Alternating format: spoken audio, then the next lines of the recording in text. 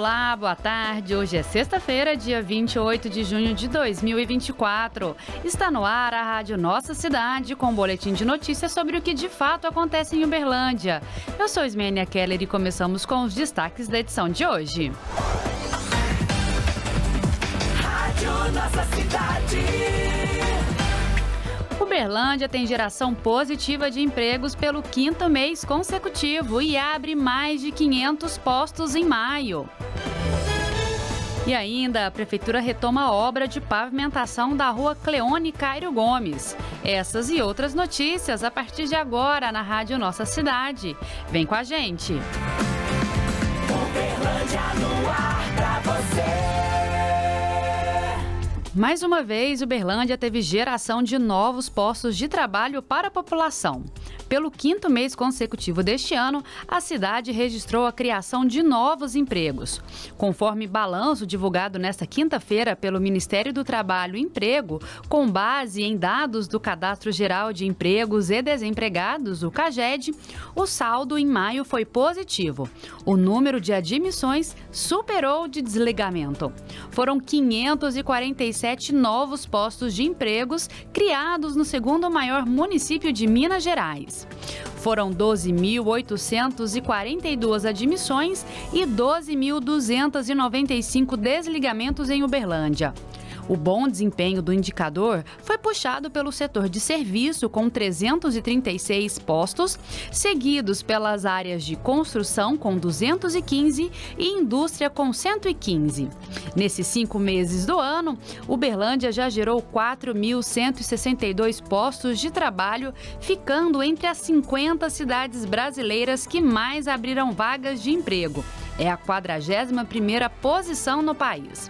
O resultado apontado pelo CAGED reforça o ambiente de oportunidades que a Prefeitura de Uberlândia procura estimular por meio de diversas políticas públicas, como o evento Mega Feirão de Empregos e as ações do Cine Municipal.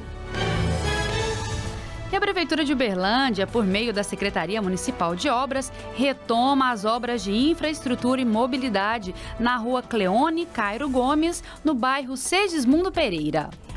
A empresa contratada originalmente para fazer a obra teve o contrato rescindido após abandonar e não cumprir as exigências previstas. Por isso, uma nova licitação foi realizada com a Poros Construtora sendo a vencedora. A obra na rua Cleone Cairo Gomes, no bairro Segismundo, retomada nesta quinta-feira, está com 70% de execução e outros 30% restantes serão realizados pela nova empresa. Os trabalhos contam com retroescavadeiras, efetuando o aterro de valas e caminhões, organizando a carga e descarga de materiais. Previamente, a parte subterrânea foi vistoriada. Na próxima semana, terá início a terraplanagem e a pavimentação do trecho da via que fica entre as avenidas Salomão Abraão e o Biratã Honório de Castro. E também será instalada a sinalização vertical e horizontal na localidade.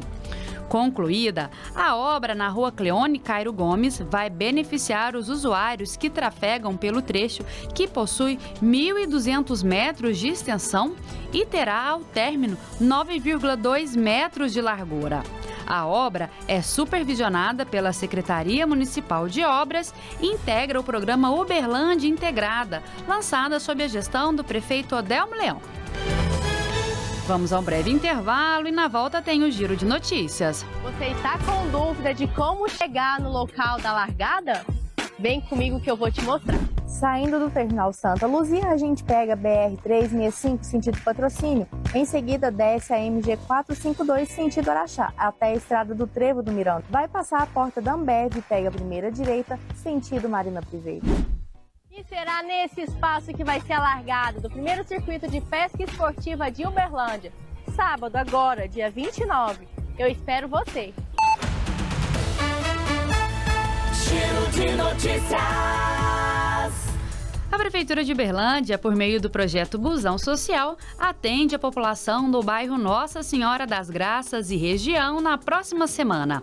Entre segunda e sexta-feira, o veículo levará serviços da Secretaria Municipal de Desenvolvimento Social para mais perto da população, na Praça Tenente Coronel Edson Carneiro, das 8h30 da manhã à 1 da tarde.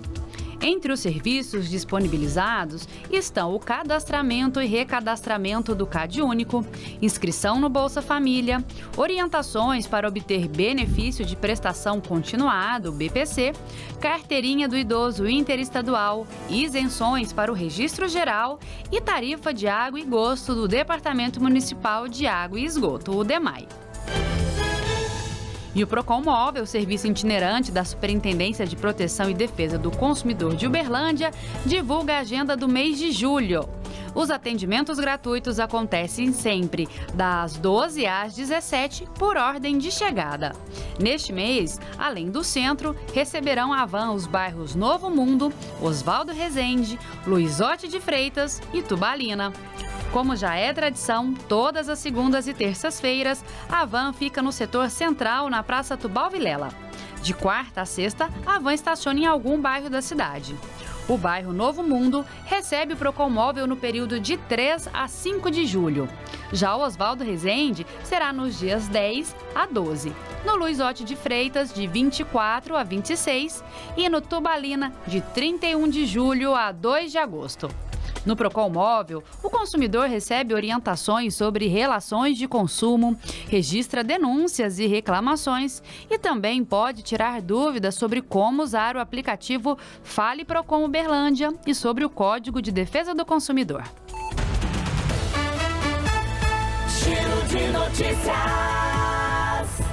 A edição de hoje fica por aqui. Obrigada pela sua audiência. Jornalista responsável pela edição, Fernando Natalio. Tradução em Libras, Amanda Valentim. Responsável técnico, Cristiano Silva. Secretário Municipal de Governo e Comunicação, Marco Túlio de Castro Kalimann. Prefeitura de Berlândia, fazer mais, fazer bem. Fica por aqui mais uma edição do programa da Rádio Nossa Cidade. Continue conosco no portal da Prefeitura e nas redes sociais.